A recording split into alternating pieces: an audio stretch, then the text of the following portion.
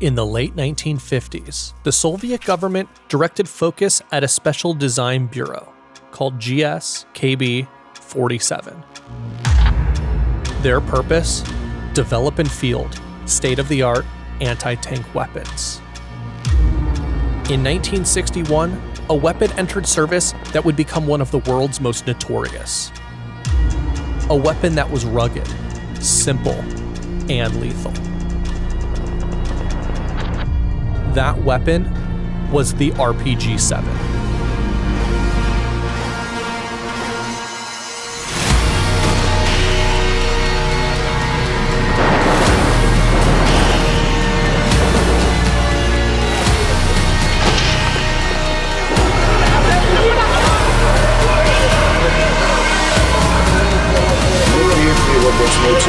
Мы приехали в областной центр Сепаратор, когда подразделение выполнило совместно с местными правоохранителями.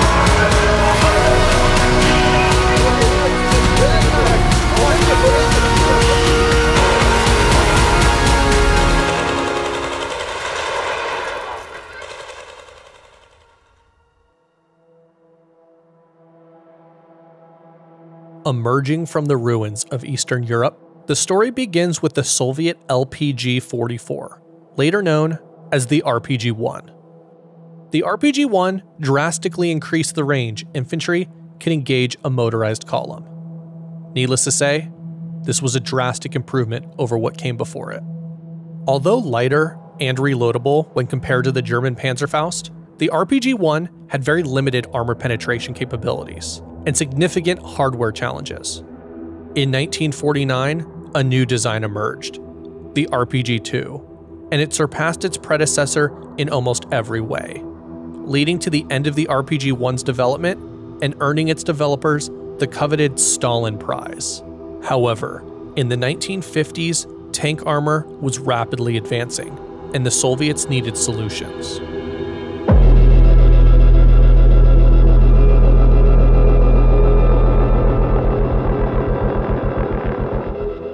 In 1961, after nearly a decade of iteration, the first RPG 7s were delivered to the Soviet Army. The RPG 7 represented a significant leap forward, boasting an effective range of 500 meters and armor penetration of 300 millimeters, making it the most formidable rocket propelled grenade launcher in the world. Not only was the design refined, but it was also versatile and forward thinking.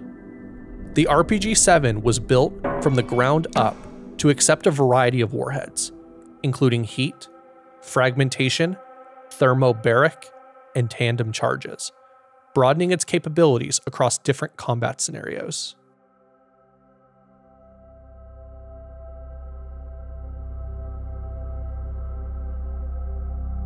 The steel launcher tube is 95 centimeters long and 40 millimeters in diameter, and is partially wrapped in a protective covering, shielding the user from heat. The RPG 7 features basic iron sights. However, the RPG 7V variant includes a pre installed optical sight. The PGO 7V is a battery powered 2.7 times magnified scope, enhancing precision and targeting over various distances under both day and night conditions. Targeting was fairly straightforward. The operator first positioned the tank's treads along this bottom line, and using the vertical lines to gauge distance. The target is then centered and aligned with the corresponding horizontal range lines. When the gunner is ready, the weapon could be fired. Despite its apparent simplicity, the RPG 7 requires considerable training and skill. US reports have highlighted the challenges gunners faced in estimating range and adjusting for windage. Even experienced gunners often misjudge the range by 15 to 20%. And contrary to typical projectiles that drift with the wind, the PG 7 rocket has a tendency to veer into the wind. These idiosyncrasies significantly lower the first round hit probability and deviated from the initial Soviet expectations. This is the original PG 7V rocket propelled grenade. It's comprised of a pre assembled warhead and sustainer motor, along with a booster that the gunner screws on just before use. When loaded into the launcher tube, A screw on the sustainer motor aligns with a cutout on the tube to ensure the KVM3 fuse aligns with the firing pin. Behind this faceplate is the trigger assembly. To arm the weapon, the hammer is first cocked and held in place by the sear. Disengaging the safety allows the trigger to be fully pulled. A notch on the top of the trigger forces the sear to bend upward, releasing the hammer.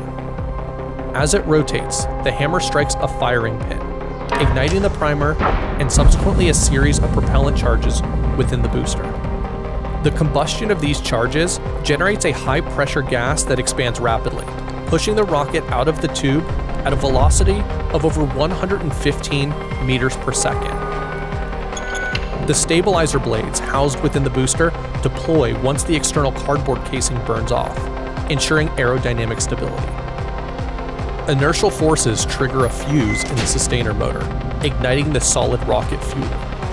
As the solid rocket fuel burns, the hot gases are expelled out of these six nozzles, quickly accelerating the projectile to its top speed of 294 meters per second.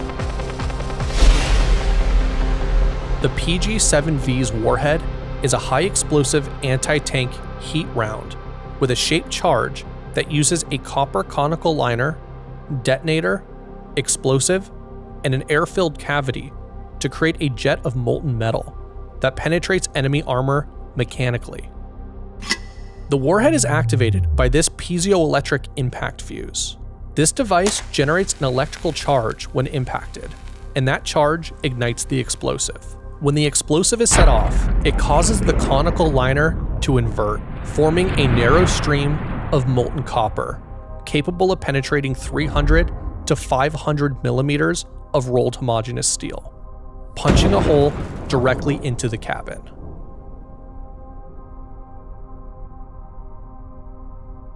When you look closer at the VP7M impact fuse, it becomes clear just how technical this piece of equipment is.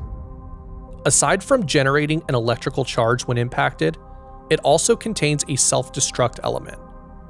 If the warhead does not impact a target within 4 to 6 seconds after being fired, or roughly 900 meters, it self destructs. This is accomplished via a precise combination of springs, pistons, and bearings, all activated via inertial forces as the warhead spins towards its target. Although not originally intended for use against helicopters, the Mujahideen and Taliban effectively repurposed the RPG 7 as an ambush weapon against them, achieving a tragic level of success at times. At longer ranges, they even leveraged the weapon's self destruct mechanism in an attempt to catch helicopters with shrapnel as it self detonated. Since it was first introduced, the RPG 7's design has spawned numerous variants, each reflecting the unique tactical philosophies of the over 40 nations that still license the design. In the 1980s, when the Soviet army was deployed to the mountains of Afghanistan, they were outfitted with the more modern RPG 16s, 18s, and 22s. Their enemy, however, possessed Chinese and Pakistani versions of the RPG 7. In many cases, the Soviet fighters preferred the captured RPG 7 models over their more modern kit, finding them lighter and equally as effective. From the jungles of Vietnam to the deserts of the Middle East, the RPG 7 remains a global symbol of asymmetric warfare, bridging the gap between low tech and high impact. Its legacy will undoubtedly continue to shape strategies and outcomes of future conflicts, reminding us that sometimes the simplest solutions can have the most profound impacts.